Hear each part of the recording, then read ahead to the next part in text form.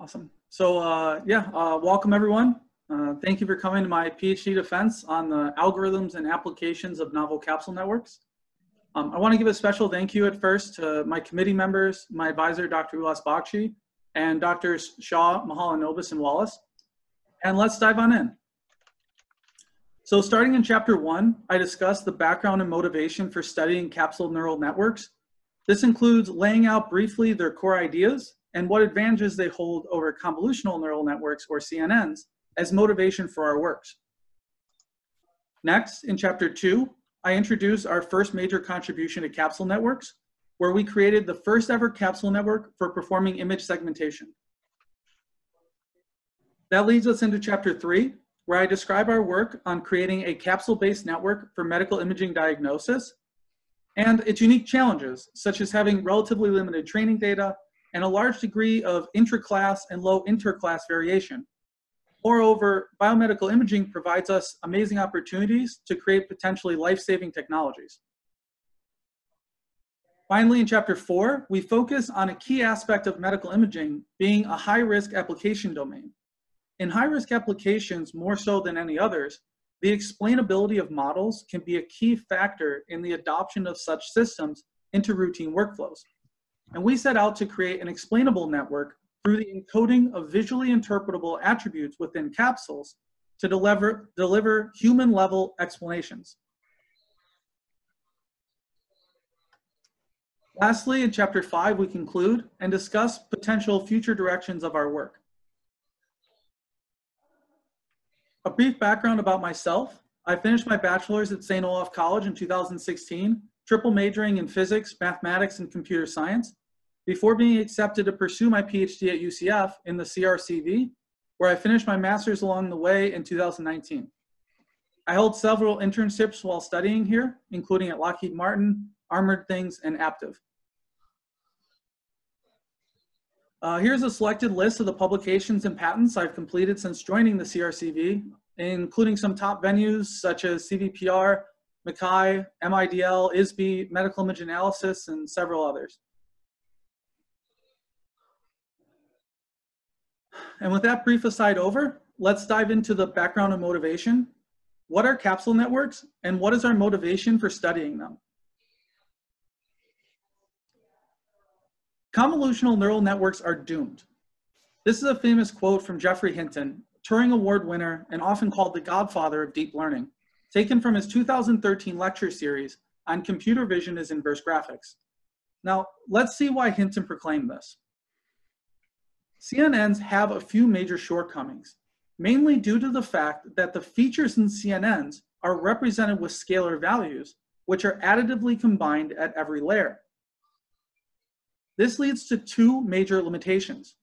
First, the modeling of internal relationship amongst features becomes ambiguous when we can only sum presence estimations over receptive fields a problem which is made worse by non-overlapping subsampling operations, such as the max pooling operation. Hinton famously said about this, the pooling operation used in convolutional neural networks is a big mistake, and the fact that it works so well is a disaster. We can demonstrate this shortcoming with a quick example. Given this scrambled face as input to a CNN for classification, early works such as Zeiler and Fergus in 2013 show CNNs learn high-value localized activations on mid-tier feature maps. Passing these features into higher level layers, we would obtain a feature map which gets classified as a face, despite the input being all jumbled up. And the second, and perhaps more important limitation, is that CNNs lack the ability to extrapolate to new viewpoints. Since features are represented with scalar values, the only information they can contain is the probability of whether or not a feature is present at a given location.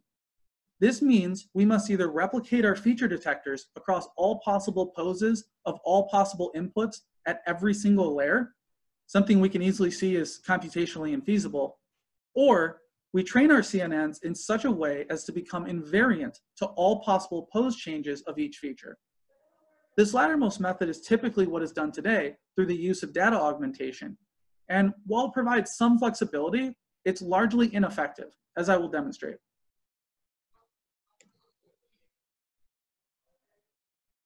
So here's a simple demonstration of these issues played out in practice. At left, the network is now even more confident that our disarranged face belongs to a person, while at right, simply rotating the image upside down causes it to be misclassified as coal. In fact, this issue is so extensive that a 2019 study published at CVPR found CNNs fail to recognize 97% of the pose space of objects. Now, capsule networks are an attractive potential solution to these shortcomings in the CNN literature. A capsule network is comprised of capsules, which are defined as a group of neurons representing a feature's presence and, more importantly, the attributes of that feature, often called the feature's instantiation parameters. And these can be anything from pose to deformations to velocity and video to albedo, hue, texture, and many other things. In practice, this only requires two simple changes from convolutional neural networks. First, features are represented by vectors or matrices rather than scalars, and this allows us to store important information about the features being learned. Second, we route this information from one layer to the next via a dynamic routing algorithm, which weights both the presence and internal relationships of the lower level features with respect to each higher level combination. We can illustrate how this solves the previously discussed problems with another quick example. If we take our same jumbled face image and input it to a capsule network, we would obtain vectors whose dimensions contain the instantiation parameters necessary to construct the features they represent. After passing these vectors, now represented here by their reconstructions, to the transformation matrix for the face parent capsule, this produces a set of prediction vectors. Here, each child capsule is making a loud vote that a face should be present, but the pose of that face is in strong disagreement amongst the different children, shown here by the non-overlapping faces. After sending these predictions through the dynamic routing algorithm, this disagreement causes no activation of the face capsule. If instead we input a proper face image, now all the children's votes agree on the pose of the face that should be present. And when combining these predictions in the dynamic routing algorithm, we would observe an activation of the face capsule with the face's instantiation parameters captured as well. And with that understanding of capsule networks, let's examine some of the practical benefits of adopting this framework. Since we're storing richer information about features, and because of the combination of transformation matrices and dynamic routing, we can now generalize our features across pose variations, even to those which are unseen during training. Essentially what we're doing is we're imposing a coordinate frame on our features, and then the multiplication of those features with a transformation matrix equates to a viewpoint change. This means we no longer need to massively replicate feature detectors across pose variations to generalize to new poses of objects, which we demonstrate in one of our published works. Therefore, it follows that we should be able to achieve the same levels of predictive performance of very deep CNNs while only using a small fraction of their parameters due to these much stronger internal representations being learned. In fact, we find this to be true in all of our published capsule works. And thus, in culmination, due to having fewer parameters and being able to generalize across viewpoints, we should find that capsule networks will require far less data to train while converging significantly faster. In Capsule Networks Against Medical Imaging Data Challenges, the authors show that capsule networks do require less data to train as well as handling the class imbalances better than CNNs as well. And we observe faster convergence in all of our studies. And that brings us to the research questions at the core of this dissertation. One, how effective are capsule networks in challenging real world applications? And we give specific focus to biomedical imaging applications. And two, what algorithmic advances are needed to make these new applications possible? With those questions in mind, we move into chapter two, where we detail our work on capsule networks for image segmentation, which is related to the publications and patent listed at right. The highlight of these is capsules for object segmentation presented at MIDL 2018, which received the CIFAR Award for Outstanding Papers and recently passed 110 citations. So let's look at the motivations and challenges for creating a capsule-based segmentation network. First, the equivariant properties of capsule networks lend themselves nicely to the task of segmentation, where precise spatial localization is very important. However, the initial CapsNet published by Sabour, Frosst, and Hinton in 2017 was extremely computationally expensive. Given just a small 6x6 pixel grid of 32 eight-dimensional capsules being routed to 10 16-dimensional capsules for classification, there are nearly 1.5 million parameters. With the task of segmentation requiring far larger input and output sizes, the number of parameters quickly grows out of control making it impossible to fit such models into memory. As an application, we chose pathological lung segmentation with additional experiments conducted on fluorescent angiogram videos and natural images. To solve this memory burden, we introduced two important contributions. First, a locally constrained dynamic routing algorithm to route information to each parent capsule only from a small local neighborhood of child capsules centered on that parent's spatial location. Second, we propose to share transformation matrices across both spatial locations and child capsule types. These two contributions combined reduces the number of parameters in every capsule layer by a significant factor, reducing those needed 2.8 quadrillion parameters to only 324,000. This is the original dynamic routing algorithm from CapsNet. It creates prediction vectors for every single child capsule for each parent. Each parent is then formed as a weighted sum of predictions with dynamically obtained weights based on the cosine similarity between predictions. In our proposed locally constrained dynamic routing, we only create prediction vectors using a transformation matrix over a local k by k neighborhood of child capsules within each child capsule type for each parent. We then share this transformation matrix across the spatial grid and across child capsule types. Predictions are then weighted and combined using the same cosine similarity based comparison. Another component of the original CapsNet was a learned inverse mapping from capsule vectors back to inputs as a form of regularization. To construct a similar regularization technique for segmentation, we modify the algorithm to reconstruct all input pixels belonging to the positive input class, using the ground truth at training and all capsules whose vector lengths are above a given threshold at testing. This learned inverse mapping forces the capsule vectors to learn the instantiation parameters of objects, while the main loss enforces learning discriminative classification features. This technique shares parallels to work such as VEEGAN, which learned an inverse mapping to overcome the mode collapse issues in GANs. Putting these three novelties together, we can create our first capsule network for object segmentation, which serves as a baseline for us. You'll notice here the structure is kept virtually identical to CapsNet, with the dynamic routing swapped out for our locally constrained routing with transformation matrix sharing, and the new reconstruction method added. The images as input and output are from the task of retinal vessel segmentation from fluorescent angiogram videos. Now, while we saw good performance on the retinal vessel segmentation task, Locally constraining the dynamic routing introduces a major limitation.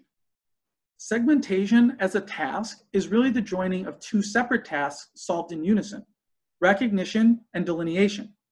This is why most successful segmentation frameworks utilize encoder-decoder networks to obtain global information for recognition and local information for delineation. When we constrain the dynamic routing, we lost the ability of capturing global information at every layer. To solve this, we introduced a novel encoder-decoder style capsule architecture by creating deconvolutional capsules. These deconvolutional capsules operate in the same manner as our convolutional capsules, except their prediction vectors are formed using a transposed convolution operation. Now, with these five novelties combined, namely the locally constrained dynamic routing, transformation matrix sharing, reconstruction regularization for segmentation, deconvolutional capsules, and our deep encoder-decoder capsule architecture, we produced the first ever capsule-based segmentation network in the literature, called SegCaps. Let's go ahead and walk through the parts of SegCaps. Given an input image, shown here is a 512 by 512 2D slice from a CT scan of a person's chest, we extract global features with a deep encoder branch. Next, the information is passed to a decoder using our deconvolutional capsules with skip connections from the encoder branch to help retain fine-grained localization. After this, we produce a final segmentation by taking the vector magnitudes of our output capsule vectors, while also passing those above the threshold to the reconstruction branch to perform regularization. You'll notice the entire network is comprised of capsules, with the exception of the initial convolution to form the primary capsule and the reconstruction subnetwork. To test our method, we applied SegCaps to pathological lung segmentation and retinal vessel segmentation. Now, before detailing our experiments, let's take a quick look at these chosen applications. Pathological lung segmentation is a crucial problem for disease analysis. Automated systems for analyzing diseases such as COPD, the third leading cause of death in the world, lung cancer, which accounts for more deaths than the next three most lethal forms of cancer combined, and together forms the second highest cause of death in the United States. And perhaps most important, the current global pandemic, COVID 19, all began with first segmenting lung tissue regions. In fact, we're collaborating right now with the National Institutes of Health and other groups to help analyze thousands of scans for COVID 19. What we have found from our practical experience is that no currently available tool has been able to handle these pathological cases to a high enough degree of accuracy needed for their use in clinical applications. In fluorescent angiogram videos, segmenting retinal vessels plays an important role in identifying pathologies and analyzing blood flow. So to reiterate, nearly all computer-aided diagnosis systems rely on first performing some form of segmentation.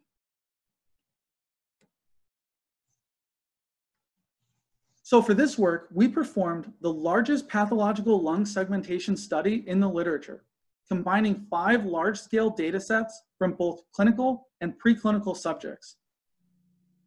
With the goal of creating a general framework which performs consistently across many different lung diseases and even different anatomies, we conducted experiments on the following data sets.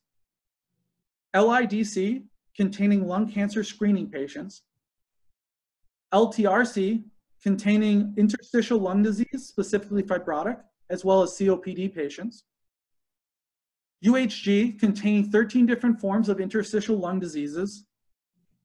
JHU's TBS, which looks at the effect of smoking inhalation on the development and progression of tuberculosis in mice subjects. And JHU's TB, which looked at the effect of two different experimental treatments on the development and progression of TB in mice subjects. It's worth noting that preclinical image analysis is a particularly challenging area with extremely limited training data due to a lack of expert interest in providing annotations. I myself actually spent over two months annotating data to complement the annotations provided by radiologists. Combining that with the drastically different anatomy and extremely high levels of noise, and it quickly becomes a significantly difficult task. In fact, no works other than uh, Dr. Bagci's 2015 TMI paper, a semi-automated non-deep machine learning method, exists for preclinical image segmentation. So for all experiments, we compared five methods. UNet, the gold standard for biomedical image segmentation for the last several years. Tiramisu, which is a DenseNet encoder decoder extension to UNet. PHNN, is the state-of-the-art method in pathological lung segmentation, our baseline SegCaps model, and our proposed SegCaps.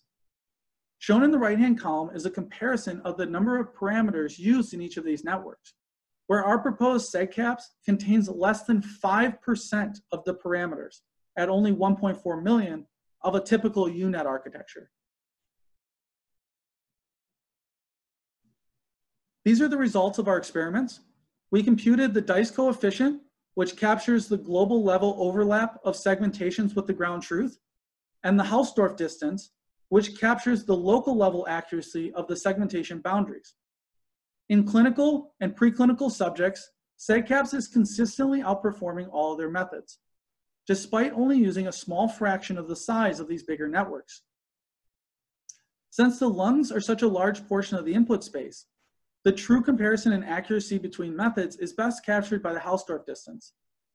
Where the dice scores are fairly close for all methods, the Hausdorff distance is typically only closely clustered for the CNN-based methods, with SegCaps significantly outperforming them for most datasets. This is captured in the qualitative results as well. Here, we are showing the segmentation boundaries for each method and ground truth with the ground truth shown in magenta and our proposed segcaps in cyan. The numbered and yellow boxed regions are magnified in the space below the full-sized images. The CNN-based networks struggle in areas with similar Hounsfield unit values. That's areas which appear with similar intensities. And this makes them fail in the case of pathologies within the lungs, especially near the tissue boundaries. When looking at the preclinical results, we see a similar effect, where SegCaps is staying fairly close to the ground truth magenta line. The CNN-based networks are tending to over or under segment. Even in a particularly challenging case where all networks struggle, SegCaps is still coming closest to capturing the proper region.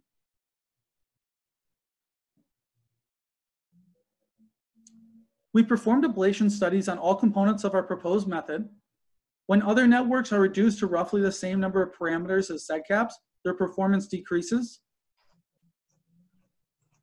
We found three routing iterations to perform the best empirically. The proposed encoder-decoder network with deconvolutional capsules performed far better than our baseline SegCaps. And the reconstruction regularization did help with the overall performance of our approach. Next, we'll take a quick look at some of our work done on retinal vessel segmentation. These qualitative results demonstrate the superiority of our baseline capsule network over UNET, particularly on thin vessels, seen here, or crowded vessels, seen here. Since this task doesn't require global information, we chose not to use our encoder-decoder structure. In the results, areas of cyan are being undersegmented by the method, magenta areas are being oversegmented, and white areas are correct segmentations.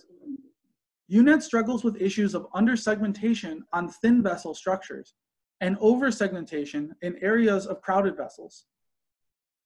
Overall, our capsule-based segmentation network achieved consistently better results than UNET.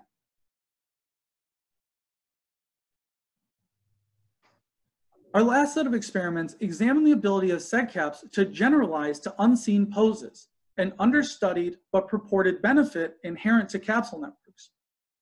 We overfit UNET and SegCaps to 100% training accuracy on a single image, then rotated or reflected that image and fed it into the networks for prediction.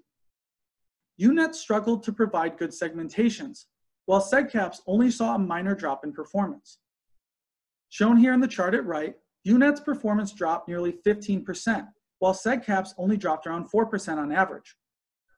To guarantee a fair comparison and ensure the significantly more parameters in UNET had a chance to properly fit, we trained both networks for 10 times the number of epochs past convergence. UNET still struggled to handle these changes in viewpoint, showing nearly the same degree of performance drop, while SegCaps handled them again with relative ease, now showing almost no drop in performance.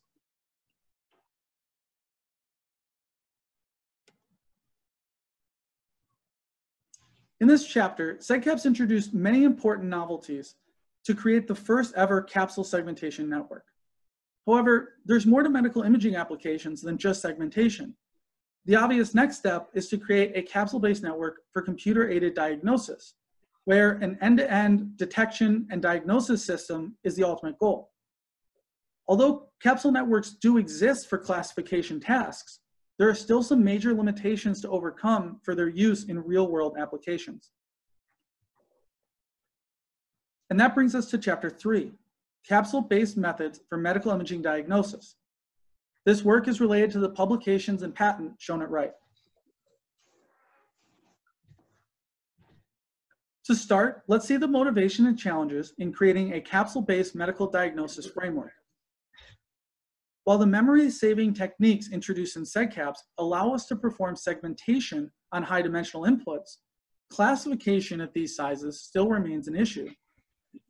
Existing capsule-based frameworks for medical diagnosis utilize CapsNet's original fully connected capsules, forcing these methods to rely on inefficient sliding window style approaches to perform to handle the larger input sizes in medical imaging. To overcome this, we introduce a capsule average pooling algorithm to create a more efficient classification network. Our chosen application is colorectal cancer diagnosis on poorly localized or in the wild polyps. First, some quick details about this chosen application. Colorectal cancer is the third most common cancer diagnosed in men and women and is the second highest cause of cancer deaths in the United States. Typically, colorectal cancer begins as polyps, which can grow into invasive carcinomas. Each year, more than 140,000 people are diagnosed, and there has been a recent increase in the diagnosis of people under the age of 50. And most importantly, catching it early increases the chances of patient survival with only a 10% survival rate if not found until a later stage.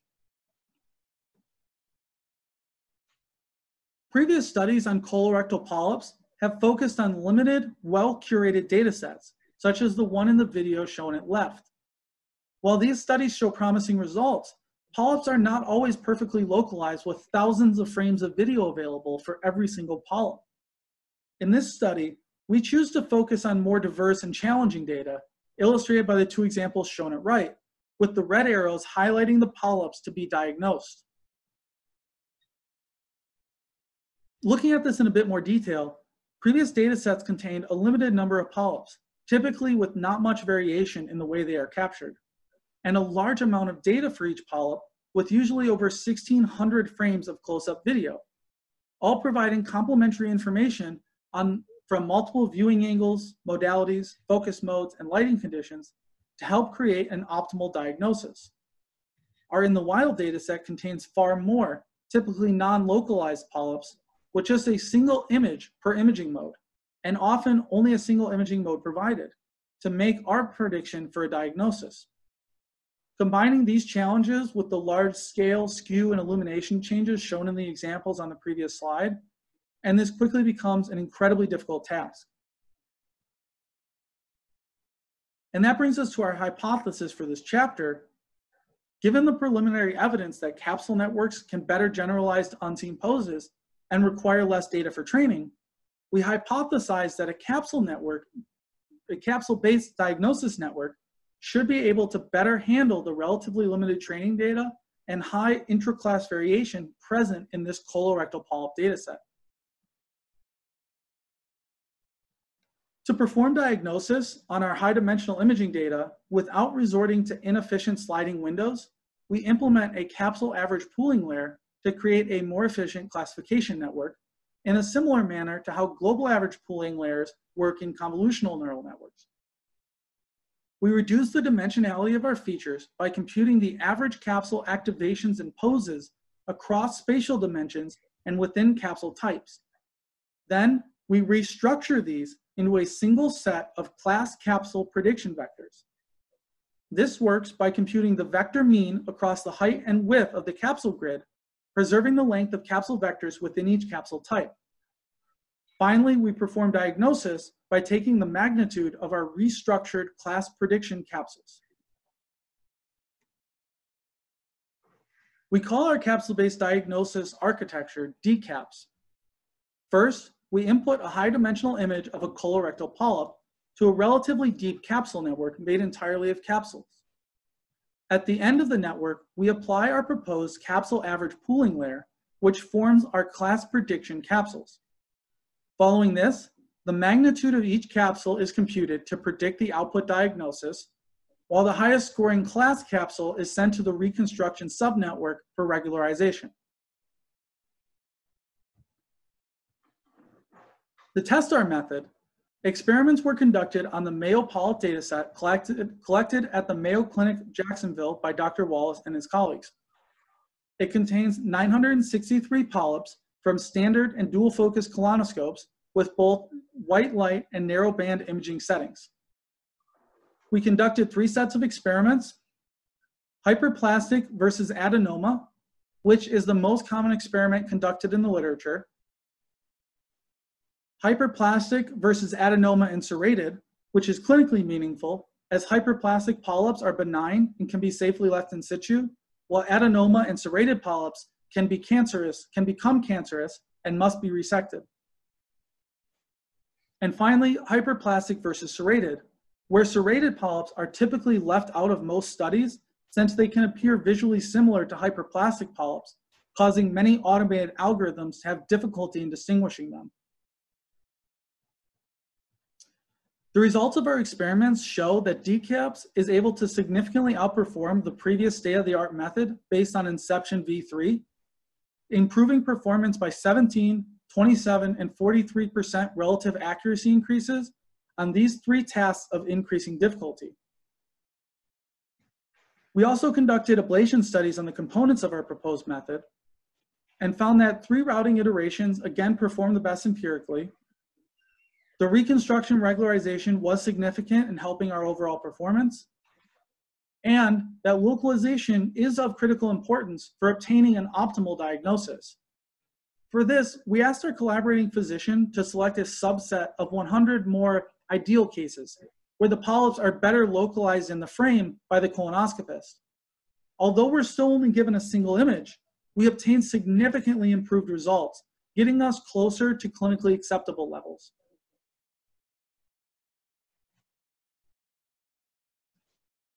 So in this chapter, and in the medical imaging domain in general, we often have limited training data with potentially a large degree of variation within and not across classes. To kind of illustrate this point, we can think of the intra-class and inter-class variation for classifying cats versus airplanes. Then think of the intra-class and inter-class variation for malignant versus benign polyp. Now, D-Caps represents an important step towards a more clinically viable computer-aided diagnosis system, showing it can better handle these types of real-world challenges better than a uh, state-of-the-art CNN. However, there is still a more significant barrier to the adoption of computer-aided diagnosis systems into routine clinical workflows. And that's the main subject of chapter four, encoding capsules for explainable predictions, which focuses on creating a capsule-based network which falls under the umbrella of explainable AI and is related to the publication, patent, and funded grant listed at right. Core ideas from this chapter were embedded into Dr. Bagci's NIH NCI R01 grant, which was funded with a high score for $2.1 million and found to be extremely innovative. Now, explainability is crucial for medical imaging diagnosis. As mentioned, D-Caps was an important step towards a more clinically viable computer-aided diagnosis system, but the lack of explainable predictions remains a significant barrier, evidenced by the fact that CNN-based CAD systems have largely not been adopted into routine clinical workflows, despite their performance often significantly exceeding that of human doctors. This is not limited to the healthcare domain either. A similar hesitancy is seen in many high-risk applications, including military, security, transportation, finance, legal, and more. Every time, this reluctance of adoption is cited back to a lack of trust, caused by the highly uninterpretable nature of so-called black box CNN models. Recently, there's been a large push for explainable AI, the Defense Advanced Research Projects Agency has invested billions over the past few years into explainable AI. The Transportation Department is calling for explainable AI in self-driving cars. The Patent and Trademark Office is calling for explainable AI in systems for improving its patent approval process. And Elham Tabasi, the acting chief of staff at the National Institute of Standard and Technologies Information Technology Lab, and lead author of the NIST report on a common set of AI principles, which has now been signed on to by over 40 countries, including the United States, had this to say. We need them to be explainable rather than just give an answer. They should be able to explain how they derived that prediction or to that decision. That goes a long way on increasing trust in the system. In machine learning, there's a known trade-off between model interpretability and predictive performance. While some work has been done to make CNNs more explainable, their success has been relatively limited and typically comes at the cost of worsened performance. Capsule networks, on the other hand, have shown an innate ability to encode visually interpretable features without suffering from degraded performance. With that motivation, before moving on to discuss our proposed explainable capsule network, I, knew, I do need to take a brief aside to distinguish between model interpretability and explainable predictions, since these terms are often used interchangeably. In the context of this work, interpretability deals with the post hoc analysis of the inner workings of a model in relation to its predictions, such as grad cam and saliency maps, or blacking out parts of the input to see how it changes the output. Explainable methods, on the other hand, provide explanations for their predictions when they are making them. The argument for explainable predictions over post hoc interpretations is this. Instead of a model predicting this is a picture of a cat, and a researcher trying to break down the neural activation patterns of what parts of the image are activating what parts of the network. What end users would really prefer is for the model to explain its predictions just as a human would. We call this human level explainability. When asked, why is this a cat? A human would not vaguely point to regions of the image or parts of their brain. They would answer, it's a cat because it has fur and whiskers and claws. Humans explain their classifications of objects based on a taxonomy of object attributes.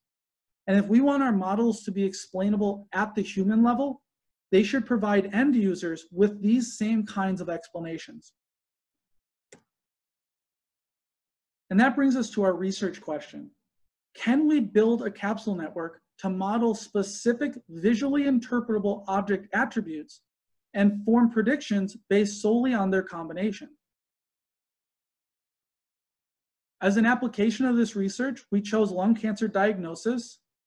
Lung cancer diagnosis is a perfect application within medical imaging diagnosis because radiologists already explain their predictions for nodule malignancy based on a taxonomy of nodule attributes, including subtlety, sphericity, margin, lobulation, spiculation, and texture.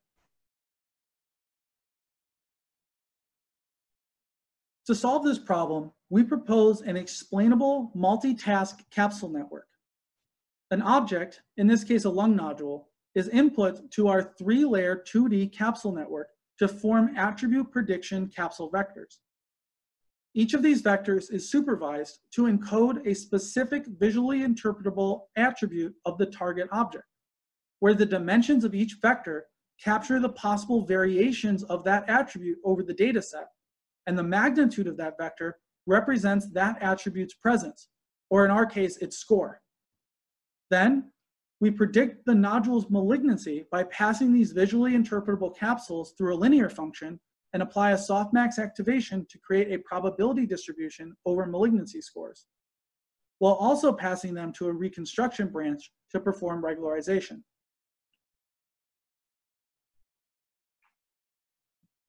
Now, you may have noticed for creating these attribute capsules, unlike in CapsNet where parent capsules were mutually exclusive, for example, a prediction of the digit five cannot also be the digit three.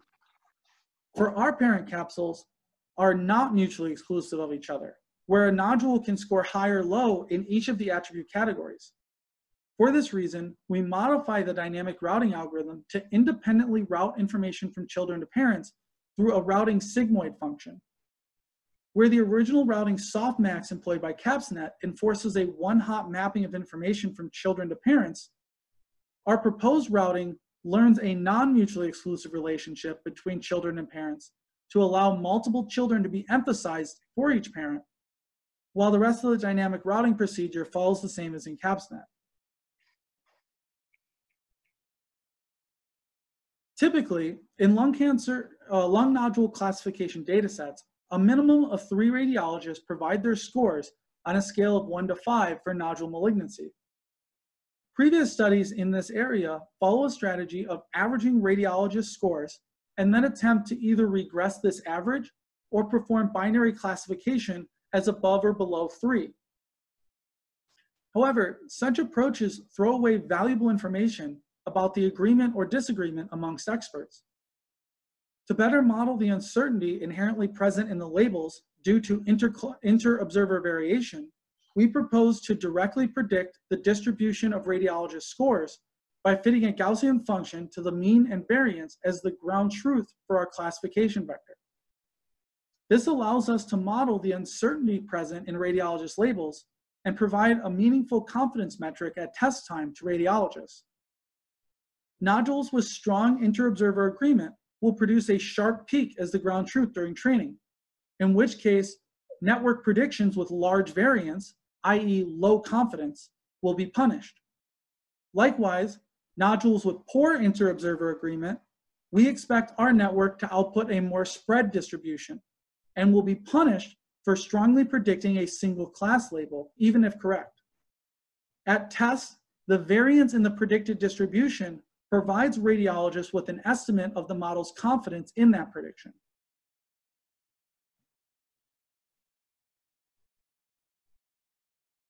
X-Caps, being a multitask framework, has three losses in its overall objective function. First, for the reconstruction branch, we chose to only reconstruct the nodule region of the input masked by the ground truth segmentation. Then we compute the mean squared error between this and the reconstruction branch output. Next, for our six attribute predictions, we compute the mean squared error between the network predictions and the normalized mean of the radiologist scores for each attribute. Lastly, for predicting malignancy, we compute the KL divergence between a Gaussian distribution fit to the mean and variance of radiologist scores and the softmax over our malignancy output prediction vector. The total loss is the sum of these three loss functions. For simplicity, we chose to set our loss balancing coefficients to one for all terms except the reconstruction branch, which was set to 0.5 to prevent over-regularizing the network. It's worth noting briefly that engineering efforts spent to carefully tune these parameters could possibly lead to superior performance. We performed experiments on the LIDC dataset where at least three radiologists annotated 646 benign and 503 malignant nodules, excluding nodules of mean malignancy score exactly three. Our method was compared against the state-of-the-art explainable CNN for lung cancer diagnosis, called HSCNN, which is a deep, dense, dual-path 3D CNN, as well as two non-explainable 3D CNNs and the original CapsNet. The results of our experiments show that supervising the attributes learned within the vectors of our capsule network significantly improved our performance over CapsNet while a CNN-based method which built an identical explainable hierarchy of first predicting attributes, then malignancy, suffered from degraded performance compared to its non-explainable counterparts, as shown in the symbolic plot. Here are the quantitative results of those experiments, where our simple 2D three-layer X-Cap significantly outperformed the explainable HSCNN on predicting attribute scores, while also achieving higher malignancy prediction accuracy, with performance comparable to that of the non-explainable deep multi-crop or multi-scale 3D CNNs. We performed three ablation studies, experiments for our study. First, we removed predicting the distribution of radiologist scores and instead simply attempt to regress the mean value of these scores. Next, we remove the reconstruction regularization from the network.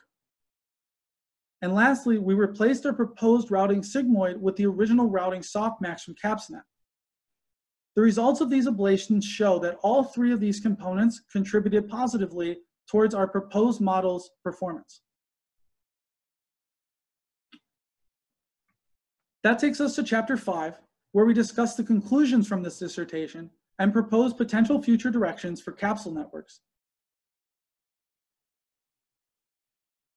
In chapter two, we introduced the first ever capsule-based segmentation network in the literature, SegCaps, while, produce, while producing several novel advancements, including locally constrained dynamic routing algorithm, transformation matrix sharing, deconvolutional capsules, extension of the reconstruction regularization to segmentation, a deep encoder-decoder capsule architecture, um, and, and, a, and a deep encoder, um, yeah.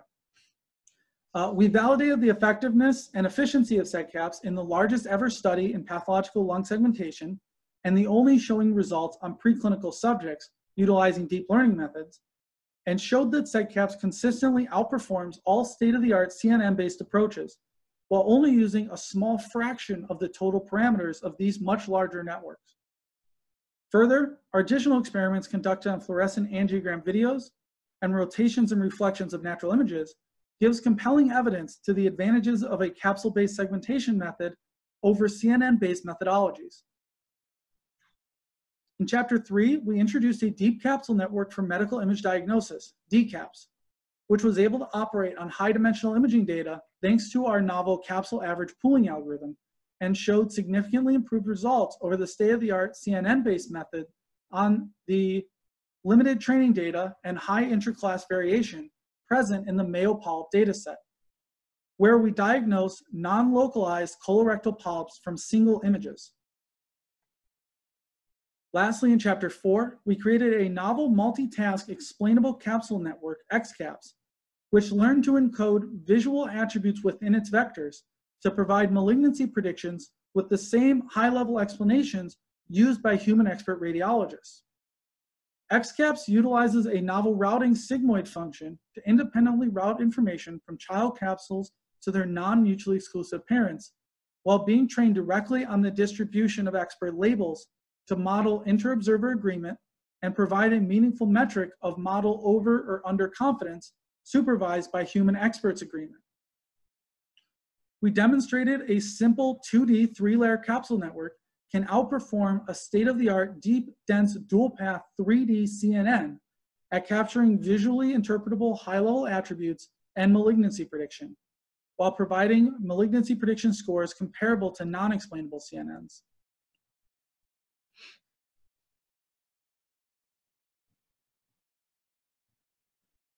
It's our hope that this dissertation will inspire future research into capsule networks, and to encourage this, we note a few potential research directions. From the technical side, Hinton cited the dynamic routing algorithm as critical to finally making capsule networks a reality. However, there is strong evidence that the current iterative-based routing mechanisms in the literature are significantly suboptimal, and we would encourage future investigation in this area. Further, we would like to encourage future researchers to consider capsule networks within the domain of representation learning and disentanglement, where there are some interesting parallels specifically to concept vector methods in particular. From an application side, we would like to draw attention to the fact that no studies have been able to show a capsule network achieving comparable results to CNNs on large-scale classification tasks such as ImageNet or on object detection tasks such as on MS COCO. In our personal future work, we recently submitted a study which introduced a capsule network able to perform object detection on MS COCO which utilizes new deformable capsules, a unique split capsule detection head, and a novel squeeze and excitation inspired non-iterative dynamic routing algorithm. That concludes this presentation of my dissertation on the algorithms and applications of novel capsule networks. I would like to acknowledge my advisor, Dr. Bagci, for all the advice, guidance, and support over the last several years. Dr. Shah for co-advising me during my first year and for the great experience he instilled into me. And Drs. Mahalanobis and Dr. Wallace, thank you for your commitment and support while being on my committee. Uh, to my funding support, thank you to the NIH funding subcontract, Dr. Wallace and Dr. Bagci, uh, the Florida Department of Health funding, and the ORC doctoral fellowship. Uh, to all my lab mates, uh, thank you guys for keeping me sane and for all the great discussions on the research ideas over the years. Um, and to my parents and brother, uh, this work is dedicated to you guys. Uh, thank you for your unending love and support. Um, so thank you everybody who joined. Um, if you'd like to view the code or project pages for anything you've seen in the presentation, you can follow the links provided here. Um, and I can now open up to discussions at this time.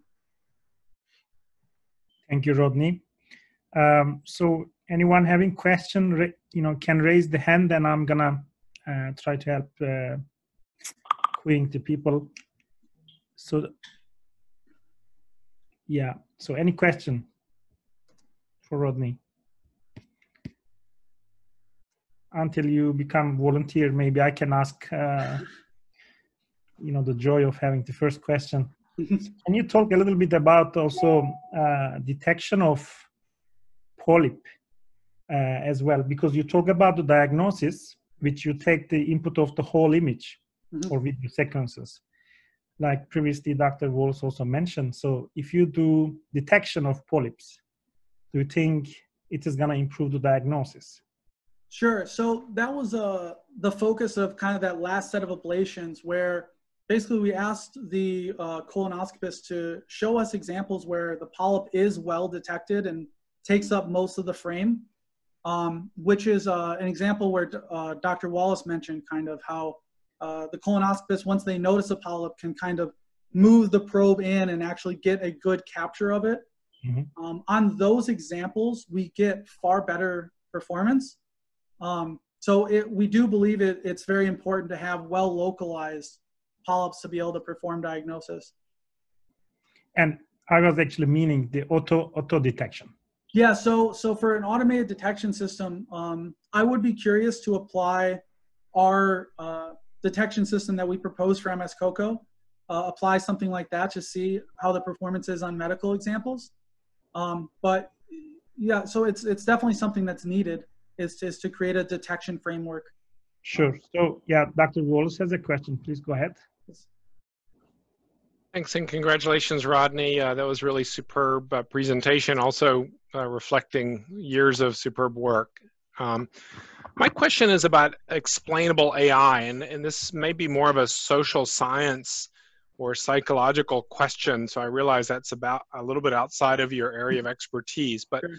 Using the term explainable intends that that the user understands what we're trying to explain. Mm-hmm. Um, and we've struggled with the black box phenomenon. Mm-hmm. Um, when you look at how we're explaining, and in this mode of explainable AI, how well does that actually how well is that received by uh, let's say an informed user or or even an uninformed user maybe a, a physician who's not an expert in ai uh, does the explanation of explained ai uh, ring true to them such that they can understand the variables that are being evaluated yeah so i guess the big thing with explainable ai is is there's kind of two pushes in the community right now and one of those is to really try to explain to the end user all of the internal workings of these complicated nonlinear functions being learned. Um, I'm not a huge proponent of that push. I, I tend to like the push of it's still kind of a black box on the inside, but its final predictions that the end user is seeing is, hey, I think this is malignant, and I think it's malignant for these reasons. And then the radiologist who is used to hearing that kind of language of, I think it's malignant because of these scores, can then look at those scores and say, well, I don't agree with this, or, oh, yeah, I mean, I agree with all those scores. And, you know, so I have a little bit more trust now in that final prediction. And especially when we're giving it also a confidence of, you know, here's how much we think we're confident in this prediction we're making. Um, both of those help a lot, I think, for the radiologist to be able to kind of trust the system a little bit more. And do you think it's important to explain it in terms of the traditional parameters or variables that a human would use to discriminate? You know, for example, in the cat analogy, the, the whiskers and ears and fur and a tail, do we have to explain that, you know, variable one corresponds to whisper, uh, whiskers and variable two corresponds to uh, fur and, and that sort of item, but or do you think it's okay to just say that a variable one uh, is a new parameter that's associated with um, with some other finding? Sure. So so this is actually um, in our work, we explicitly supervise variable one is this, variable two is that. Uh, in the original CapsNet, there was no explicit supervision, and the researchers just went in and saw, hey, if I mess with variable one, what does that affect? And they were able to find, oh, okay, that affects the rotation. Variable two affects the stroke thickness. Variable three affects this and that. The advantage of an unsupervised or partially supervised system is you can do kind of exactly what you're implying of, hey, we didn't supervise it, it found something, and let's examine what exactly it's doing.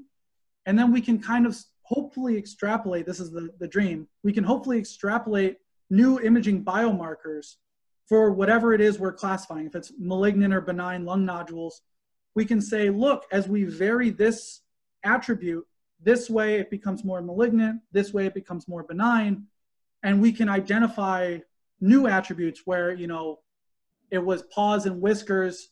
Maybe there's something else that's you know very helpful to identify a cat.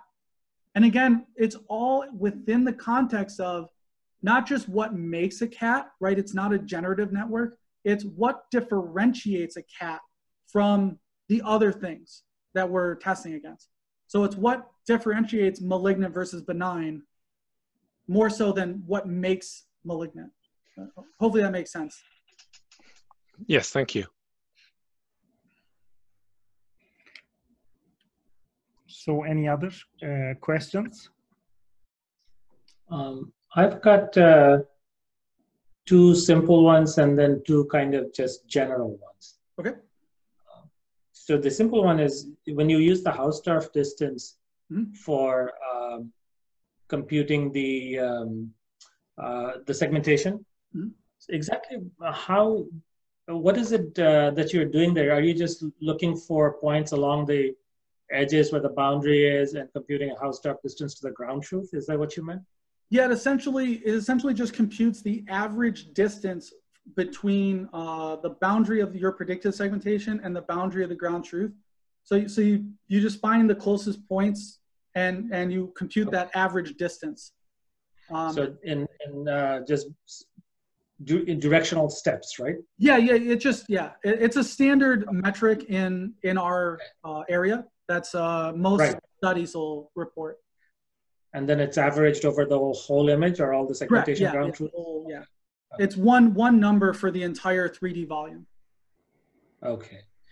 Um, the other uh, question that I have is um, so for your confidence prediction, mm-hmm. um, I understand how you're doing the uh, the explainable part of it. That's very interesting. Um, but does that mean that the ground truth information has to have all of that put in by the radiologist or by an annotator? That kind of ground truth is available to you already? So in our current formulation, yes, we're fully supervised. So we have to have attribute scores for each attribute we want to study.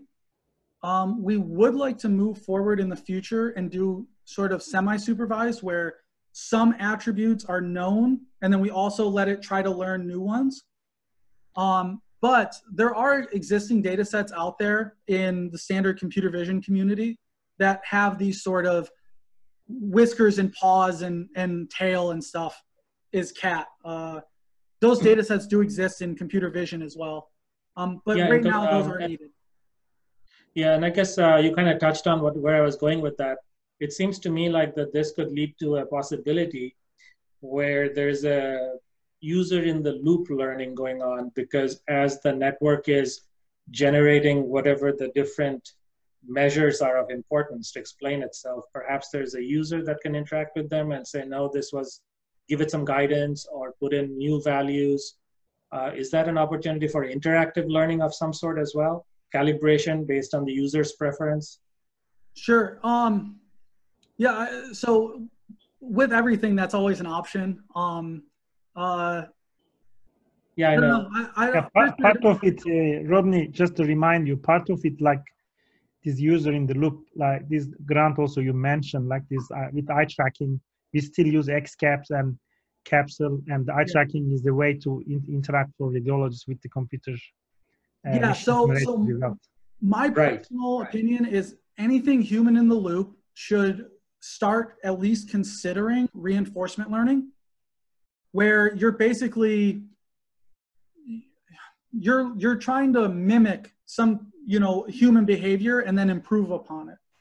Uh, it's the same thing like they did with AlphaGo, right? Where they first mimicked humans and then it played against itself. Um, that's a strategy I personally prefer when you when you talk about human in the loop. Um, okay. Well, in the interest of time, let me just ask you the the general question. So I'm I'm extremely um, uh, happy and pleased with everything that you've done, and it's really remarkable how well Capsule Network uh, you've made them work on these challenging problems. The one question that I have, which is which is something that I don't yet intuitively have a appreciation for, is that you mentioned that capsule net networks are a really powerful way of you know preserving the structure and the relative importance of location and shape and yet for medical imaging many of these things don't have specific shape like a tumor is kind of like a non-specific shape right uh, or for instance when you have um, the segmentation job uh, these are very very um, one of the difficulties with medical objects, from what little I know about it, is that they don't follow any specific shapes like we have in computer vision. Um, and also the patient, typically, you know, the camera is fixed, the patient is cooperating. So um, why is it that um, this is, well, well, let me ask it this way. Clearly, capsule networks work better than CNNs for medical uh, seg image segmentation and classification. Um, what are they really picking up on? I know this is a very non-specific question, but I just wanted to hear your intuition about what might it be really doing. Um, so, so I do. Uh, there's a handful of things to, to kind of touch on briefly uh, with that with that question. A couple parts. Um, I'll try to be uh, super brief. Uh, the the first thing is, um, like you mentioned, uh, most medical imaging is very controlled in the way that it's captured. Um, and what's nice about that, especially with like segmenting the lungs and CT scans and stuff, is we don't have uh, we have variation, and it can be uh, very hard to deal with variation in, like you said, what makes a nodule malignant versus benign but we don't have a ton of like background noise and clutter and all those other things that you see in natural images. Um, that I think is something that really helps us where if you give it something to focus on, it does a better job of capturing. But if it has to figure out on its own what to focus on, it can have a bit of a harder time. And this is why you saw like MNIST with the original capsule, MNIST did very well on uh, MNIST, but it did poorly on CIFAR, um, where it had a hard time identifying what what am I supposed to be looking at. Um, I think that's one of the biggest things with with capsules is is if they know what they're trying to model, they can do a very good job. Um, and that we tried to help them with that in our explainable one, where we specifically provided the segmentations in the regularization branch to say, hey, this is the thing that you should be paying attention to. Um, so that's one part of it. And then the next part of it is um it's a bit of a misconception um that like in medical imaging that there's no sort of shape information or no sort of standards right? We have these attributes like one of which it's easy to see is sphericity how spherical is the nodule right so these are it, it is similar um what makes it harder in some ways, like I said, it's easier in some ways because we don't have the background clutter. But what makes it harder in some ways is the inter-class variations between cat and airplane are massive. But the inter-class variations between malignant and benign mm-hmm. are very subtle. Yeah. Right. So yep. that's yep. that's our difficulty here. So there's some ways that it's a lot easier of a problem, some ways that's a lot harder of a problem. So, but there are attributes, there are metrics of you know sphericity, spiculation, these different things Right. Um, so so they, they do exist. They are there, and the capsule networks can pick up on them. Um, obviously, because we you know we showed the with scores of predicting. Yeah. So. Yeah. Very good. Thanks. Yeah. So let let me also ask since you know all the members of committee have asked. So um, general question that why do you think Rodney that capsule network hasn't really picked up yet because uh, most of the work these days in computer vision in machine learning, all that actually don't use capsule network. Mm-hmm. And there was a lot of lot of hype and you know a lot of um, yeah. attention in the beginning, but somehow um, it's not really catching up. That's first question. Second is related to that.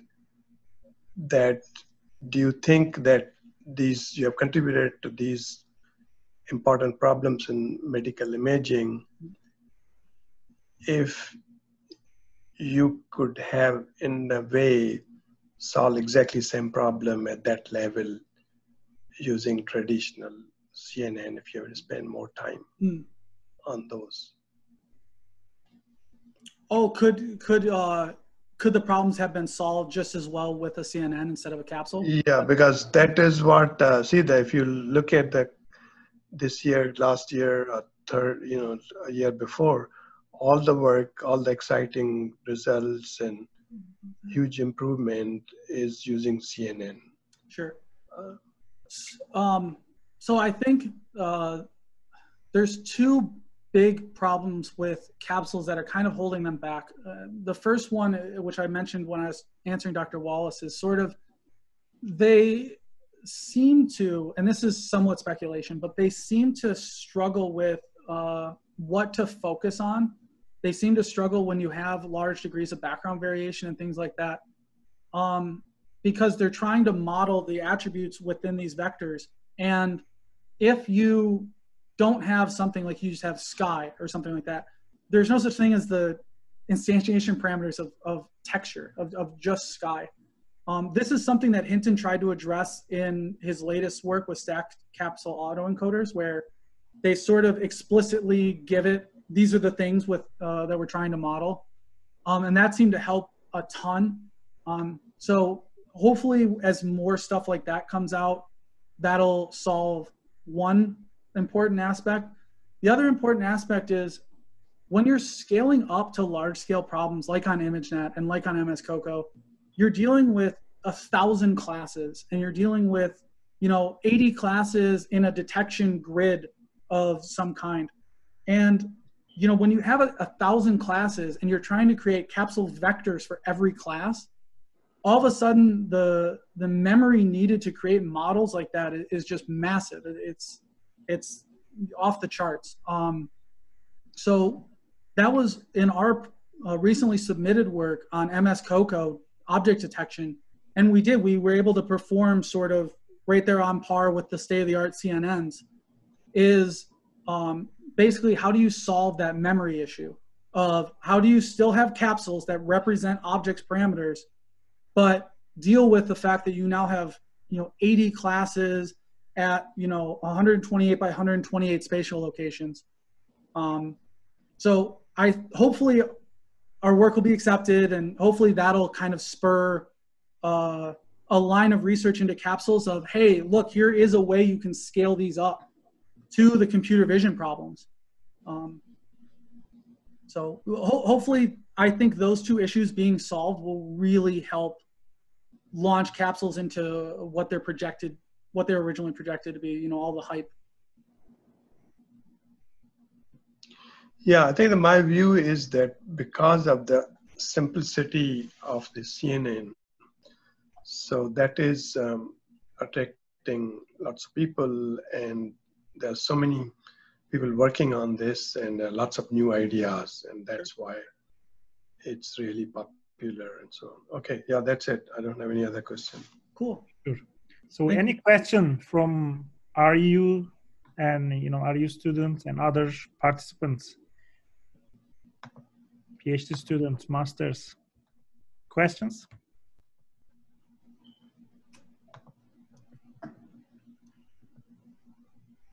Um, I think so. There's no question, and uh, Dr. Wallace needs to also leave a little bit earlier because you know he's gonna see the patient. So I ask all the audience to leave, uh, so the uh, only panel members can stay.